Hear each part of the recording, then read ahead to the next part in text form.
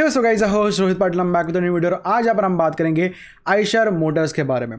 कल टाटा मोटर्स की बात की थी, जहाँ पर थोड़ा एक वीकनेस नज़र आया था। आज आयशर मोटर्स की बात करेंगे और आयशर मोटर्स में भी सिमिलर सिचुएशन देखने को मिल रही है। इसलिए बहुत से लोग यहाँ पर थोड़े यूफोरिया स्टेज में फंस गए हैं। उनके लिए काफ़ी सारी इंपॉर्टेंट वीडियो है, जो लोग अभी इन्वेस्ट करना चाहते हैं, उनके लिए भी है। शॉर्ट टर्म लॉन्ग टर्म सबके लिए राय दूँगा। ओके तो करंट यहाँ पर मैंने कुछ स्टडी किया and according to the price action and financials दोनों भी प्रॉपरली देखे, क्योंकि दोनों भी प्रॉपरली देखने इंपॉर्टेंट है। आप सिर्फ़ टेक्निकल्स देखोगे और स्टॉक बाय सेल करोगे, आपको यहाँ पर फाइनेंशियल्स बाद में क्रंच कर देंगे। दोनों प्रॉपरली स्टडी करोगे, दोनों एक अच्छे व्यू से देखोगे, तब जाके कहीं आपको एक अच्छा एनालिसिस मिलेगा। ओके तो अकॉर्डिंग टू प्राइस एक्शन हम देख सकते हैं, यहाँ पर इसने पहले ये जो रेजिस्टेंस था, यहाँ पर एक फॉल्स ब्रेकआउट दिखा। आप देख सकते हैं this is a clear case of false breakout आपको थोड़ा सिखा भी रहा हूँ यहाँ पर।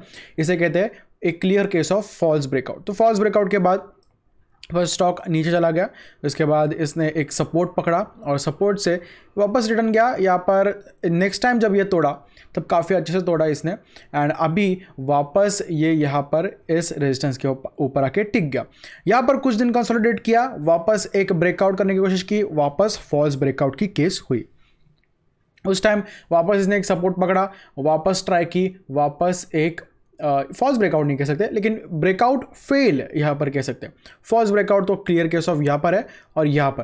Okay okay? इसे ब्रेकआउट फेल कहेंगे। तो ब्रेकआउट यहाँ पर फेल हुआ, उसके बाद वापस से यहाँ पर टच हुआ एंड यहाँ पर सपोर्ट भी टूट गया। सपोर्ट टूट गया, अभी ये कंप्लीट बैरिश में आ चुका है। On a daily time frame अभी ये बेरिश में आ चुका है, इसका अगला यहाँ पर सपोर्ट होगा। दैट वुड बी अ छोटा सपोर्ट अगर हम बोल सकते हैं तो 2550 के अराउंड एंड बाद में एक बड़ा सपोर्ट कह सकते हैं, जो कि exact support that is 2400 rupees तो ये उसका नेक्स्ट सपोर्ट होगा. अभी एक तो दो बातें हो सकती है. 2400 रुपीज़ के ऊपर यहाँ पर एक अच्छा खासा सपोर्ट पकड़ सकता है. या तो अगर वहाँ से भी टूट गया तो और फर्दर गिरावट देखने को मिल सकती है. बट बट क्या ये भी सपोर्ट टूटेगा? इसे हमें जानना थोड़ा इंपॉर्टेंट है। तो इंपॉर्टेंट इसलिए हम थोड़ा जाएँगे फाइनेंशियल्स के ऊपर। फाइनेंशियल्स में हम देखेंगे, आप देखोगे, अरे दिसंबर क्वार्टर में तो बहुत बढ़िया प्रॉफिट हुआ। इसने बहुत अच्छा प्रॉफिट दिखा। यानी एज कंपेयर टू दिसंबर 2019 दिसंबर 2020 में इसने उल्टा ज़्यादा अच्छा कमाया। फिर फिर भी स्टॉक बेरिश क्यों जा रहा है? तो बेरिश इसलिए जा रहा है रेवेन्यू भी बड़ा है प्रॉफिट्स भी बड़े हैं, इसलिए जा रहा है क्योंकि अब ई एस क्लोजली अगर आप देखोगे तो यहाँ पर इसका जो ई पी एस है, जो मार्च ट्वेंटी का है that is minus two minus two ये मार्च ट्वेंटी का ई पी एस है। और फिर भी, अभी भी इसने यहाँ पर जो कमाई की है दैट इज़ दिसंबर क्वार्टर में, उसमें भी इसका ई पी एस कम हुआ है। क्योंकि स्टॉक अगर हम थोड़ा पीछे जाके देखें तो स्टॉक पहले ही बहुत ज़्यादा बढ़ चुका है। पहले ही बहुत ज़्यादा बढ़ चुका है। आप यहाँ पर ये बुलरन देख सकते हो क्लियरली क्या बढ़िया बुलरन आई है। यहाँ पे भी एक छोटी बुलरन देखने को मिल सकती है। यहाँ से एटीन ऑफ़ मे के बाद से इसने जो बुल रन पकड़ी है, बहुत बढ़िया बुल रन पकड़ी है। उसकी वजह से स्टॉक की प्राइस ऊपर चलेगी लेकिन ईपीएस e को सिमिलर रखने के लिए या फिर अच्छा ईपीएस e बनाने के लिए प्रॉफिट्स भी बढ़ना ज़रूरी है। प्रॉफिट्स बढ़े। नहीं बढ़े, ऐसा बिल्कुल नहीं हुआ। प्रॉफिट्स भी बढ़े। लेकिन उसका एक रेशियो होता है। प्रॉफिट बाय स्टॉक की प्राइस एक रेशियो होता है। लॉन्ग टर्म में ये हमेशा रेशियो को मेंटेन करके चलता है। तो फ्यूचर बिज़नेस प्रोडिक्शन से ये एक मेंटेन करके चलता है। इसलिए यहाँ पर हमेशा ये एक, जब भी ये जो डिसबैलेंस देखने को मिलता है फॉर एग्जांपल कभी कभी ई ज़्यादा हो जाता है कभी कभी यहाँ पर स्टॉक की प्राइस ज़्यादा हो जाती है बट फाइनेंशियल्स कम हो जाता है। सो so, हमेशा ये स्टॉक की प्राइस और ये इक्वल एक टाइम पे आके थोड़ा इक्वल होना इंपॉर्टेंट होता है। अभी क्या हुआ है स्टॉक की प्राइस बड़ी है यहाँ पर प्रॉफिट्स भी बड़े हैं लेकिन उतने नहीं बढ़े जितनी स्टॉक की प्राइस बढ़ी है।